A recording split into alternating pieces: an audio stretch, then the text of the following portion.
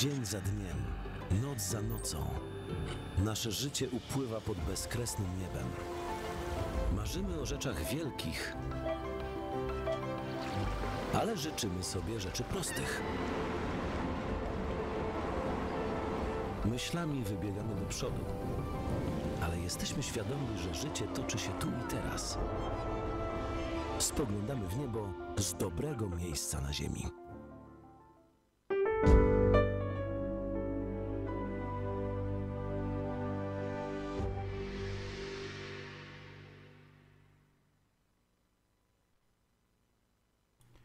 Witajcie drodzy uczniowie. E, Czy widzicie na ekranach tę charakterystyczną czerwoną budkę? E, Tak, to jeden e, z symboli Wielkiej Brytanii. Podobno takie budki można nawet kupić na różnego rodzaju portalach aukcyjnych. No, to tak tytułem wstępu, jako ciekawostkę powiedziałem do lekcji języka angielskiego, którą dla Was poprowadzi już za chwilę pan Grzegorz Fidala. Dzień dobry, panie Grzegorzu. Hello, hello everyone. Thank you very much for this beautiful introduction because it is very important for today's lesson. So, uh, you are told uh, about this red phone box, which you all think about um, a typical symbol of London, of Great Britain.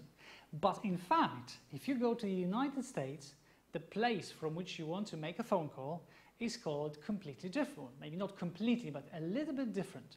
Because what British people call red phone box, the Americans call phone booth. So budka telefoniczna, a place from which you can make a public phone call, um, open for the public, has different names in British and in American English. And this is what today's lesson is all about, about the differences between British and American English.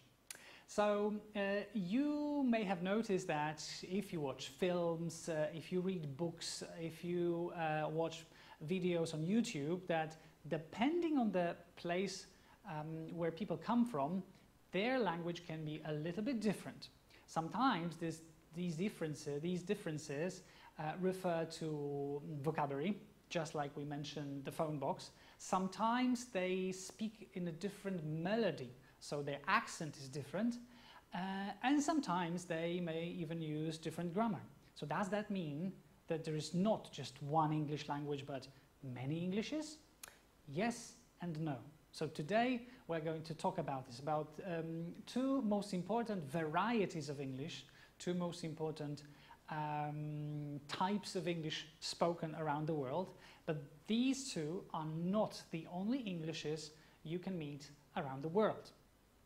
So today we are going to look at uh, a little bit of history, of historical overview, how English language evolved, how it was um, changing throughout the years, and then we will look in more details at the specific differences between British and American vocabulary, British and American spelling, um, some element of grammar, but very shortly, and finally, we are going to listen to um, British and American people speaking about the same things.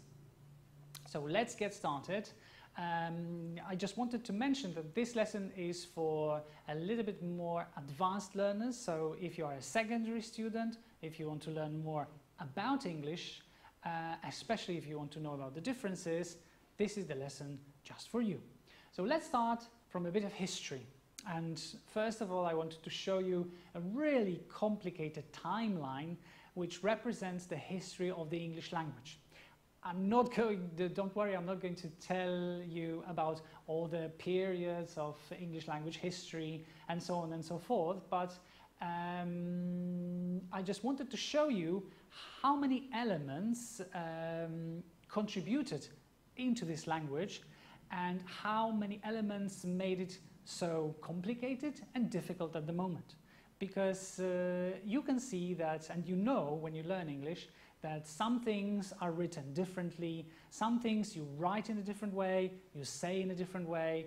And one of my teachers once said that in English we have 100,000 rules and twice as many exceptions, czyli 100 tysięcy zasad i dwa razy tyle wyjątków, and it's not very far from the truth. Why? This is because of the British complicated history of the whole area where Great Britain is now located, where a long, long time ago, uh, from 2,000 years ago, 2,000 years before Christ, it was a land um, where only Celtic tribes lived and they created the origins of, um, of the English language. So first of all, it was a Celtic language, but at some point in history, the Romans with Julius Caesar invaded um, the island, giving some elements of Latin, of their language, into English. So uh, it were the Romans who gave um, the country the name. Britain, it were the Romans who made the names of cities, London, Manchester, um, and so on. But uh, when Romans left the island, we had another wave of invasions. So first of all, there were Angles and Saxons, there were Vikings, and there were also Normans, which were people living in the area of contemporary France. And all these nations contributed um, with their language into English as well. So, uh, for example, uh, about 1,000 years ago, the King of England didn't speak English at all, but he spoke French. And all his nobility, all the, most important people in the country spoke French too. And this situation lasted, um, lasted for more than 100 years until English language came back with the kings um, coming from the British origin.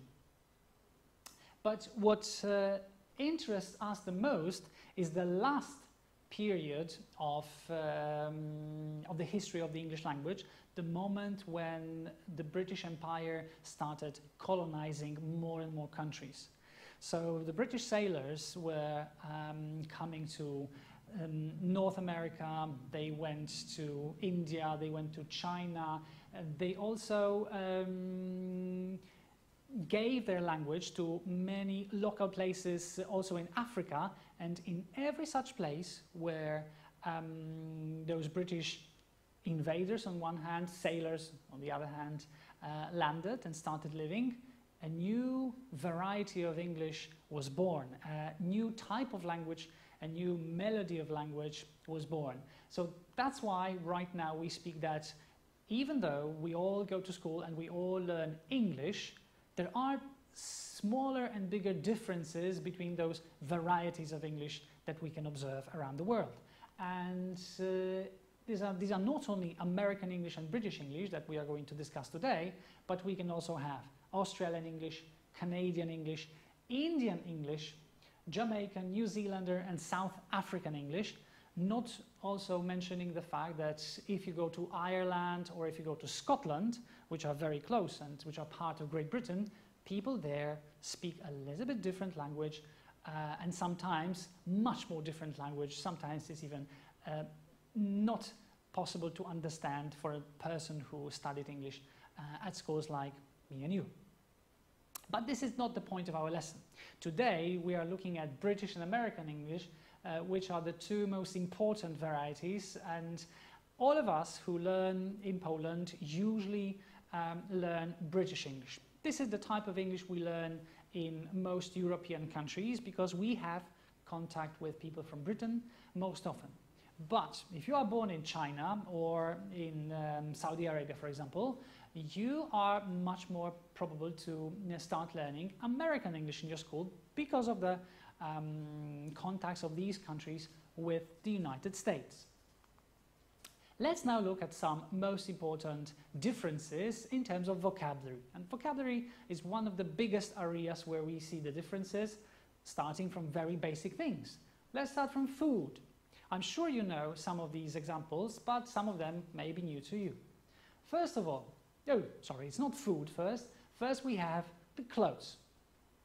So if you look at me, I'm wearing black trainers on my feet. Whereas the American person would say that I'm wearing black sneakers. So if you watch films about teenagers, you may hear sneakers much more often um, than trainers at the moment because of the fact that pop culture, American pop culture, is so much present in the world. The same situation happens with sweater and jumper. Jumper and sweater are both uh, bluza, but you may be more familiar with uh, sweater because it happens more often in the films. Waistcoat and vest are the two words standing for kamizelka and braces in British English and suspenders in American English to są po prostu szelki. Okay, let's move on. Some other interesting um, examples belong to the area of food. So when the British people speak about courgettes, the Americans mention zucchinis, which is zucchini, like in, same in Polish and uh, similar in Polish and in American English.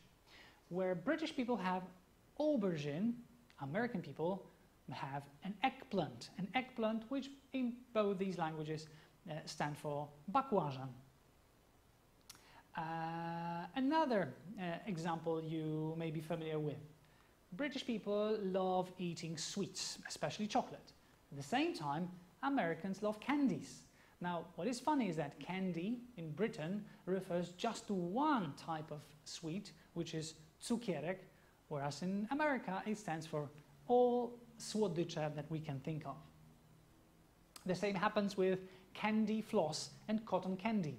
It may be not very visible in, um, in your screens because of the fact that this beautiful thing and very tasty thing is vata cukrowa. So candy floss in Britain and cotton candy in the United States. Let's move on to um, the, the area of cars and transport. So British people leave their cars in the car park. Americans leave their cars in the parking lot. When a British person wants to see the engine, they open a bonnet, whereas the Americans open the hood, which are two words standing for maska samochodu. The difference uh, happens in the same way when they go to the back of the car to check their luggage, because British people put their luggage in the boot and shopping in the boot, whereas American people put their luggage and shopping into the trunk, which both stand for bagażnik samochodowy. And of course, if you drive your car, the thing you need to have is uh, petrol, if you think about British English, and gas, if you think about American English. That's why a petrol station and the green stations that we have um, also in Toruń, Bydgoszcz or other places of our region are short form from British Petroleum, brytyjskie paliwo. Americans fill their cars in gas stations rather than in petrol stations. Okay, another area which is very well known to all the boys is sport because of the fact that all Europe and all uh, Britons, of course, play football. Whereas for Americans, the same thing that we call piłka nożna is called soccer. uh, if you speak about football to Americans, they use a completely different ball because they have their own variety of football, American football, which is much more brutal and with really complicated rules for those of you who are not familiar with it. Um, another example when it comes to both cars and places you can live. Because in Britain, you are going to live in a flat. And if you go on holidays, you can rent a flat, czyli mieszkanie. In America, maybe it's because of the size, you don't rent a flat, you rent an apartment and you can live uh, in an apartment um, in the city center. Whereas if you want to get to your apartment, which is in the top floor, in Britain, you are going to use a lift. In America, you are going to use an elevator. Um, one more example, that one that I mentioned before, that, that, that one which was mentioned at the beginning of the lesson, that if you want to make a phone call in the street and your battery in your mobile phone uh, is dead, you can use a phone box, which is usually red in the UK, and a phone booth if you are in the States, which are still very popular um, at the moment. Again, if you feel bad and if you have a headache, in Britain, you have to go to the chemist in America, you are going to go to a drugstore or a pharmacy. And uh, to get to the city center in Britain, you are going to take the underground, which in America, especially in New York, is called subway. And the last um, quite funny thing about uh, children in Britain, the thing that you wrap around a little child is a nappy, pielucha. The same thing in America is called a diaper. And another uh, thing which is very useful when you have a really small child is uh, which in Britain is called, maybe not very politically correct, a dummy, whereas in America is called a pacifier, czyli pacyfikator, usypiacz. Um, it really gives you an idea what this object is necessary for. So this is more or less, uh, one more example, two more examples, um, torch and flashlight for latarka, mobile phone and cell phone na komórkę, rubbish and garbage in terms of śmieci, and bin and trash can when we speak about śmietnik, which is the object where you put your rubbish or garbage. And now we'll go to the area of spelling because British people and American people sometimes spell their word in a different way, but what is good information for you is that both of them are correct. So whenever you are writing a, a composition, whenever you're writing a text for your teacher or at the exam, no matter which type, which variety of English you use, both of them will be correct if you speak about, for example, color. Look at the, mm, uh, look at the spelling of this word. In British, we spell it C-O-L-O-U-R. In America, we put it simple, C-O-L-O-R, color.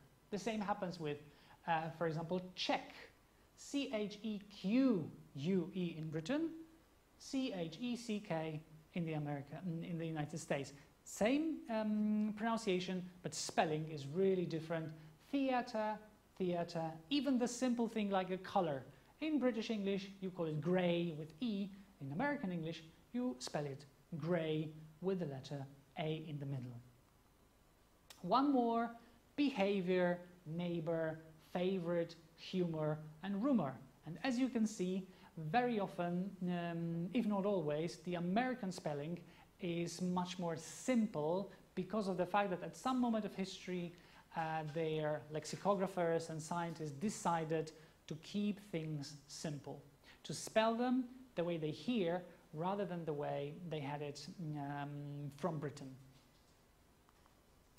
Um, another way of spelling and which combines spelling and pronunciation, when you learn the song, when you are in primary school and you learn the song about the alphabet, A, B, C, D, E, F, G, H, I, J, K, L, M, N, O, P, Q, R, S, T, U, V, W, X, Y, and, and here the story goes. In American English, you, you sing Z. In British English, you say Z. So W, X, Y, Z, that's why you say that an animal starting from Z is a zebra in Britain and a zebra in the United States. The thing you put at the end of a sentence is called full stop in Britain, a period in the United States. And so on, and so on, and so forth. These are the most important differences between the words. Now we come to grammar. And here, um, these pieces of information are more hap are happening more often in um, conversation rather than in written English. But of course, in written English, it happens too. So the first big difference in grammar is with prepositions. This is one of the hardest things um, for people to learn when they learn English. And as you can see, uh, in Britain, you usually say, I talked to Jane, I talked to my friend yesterday. In America, you will say, I talked with my friend, but don't worry, both these versions are correct, which is good for you. In the same way, you um, spend time at school from Monday to, to Friday when you are in Britain, but from Monday through Friday when you are in the United States. You um, meet your friends at the weekend in Britain, but on the weekend in the United States, and you haven't seen your friends for a long time in Britain, and you haven't seen in a long time in the United States. So this is, I guess, good piece of information because in this way, even if you have um, those two options, it's much better than having just one, which is the only correct when you have to learn for a test. One more difference, one more big difference is in the use of the past tense. So, one of the tenses that Polish students really don't like, present perfect, proszę pana, proszę pani, a kiedy używamy tego czasu? Well, in British English, we say, have you eaten your lunch yet? Czy już zjadłeś swój lunch? The Americans ask it in the simple past tense. Did you eat? Did you do your homework? Yes, I did. Yes, I ate.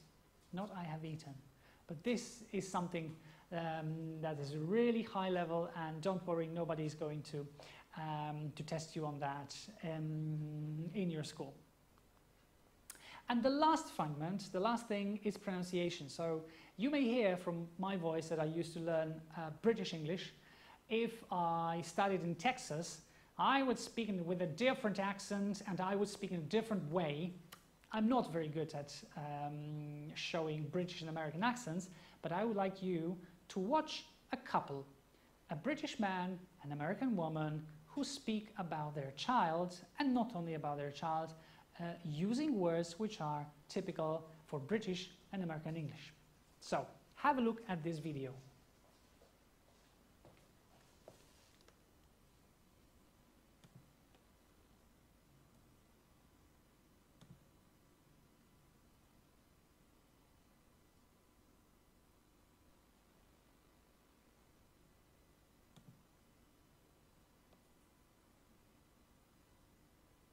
Just a second.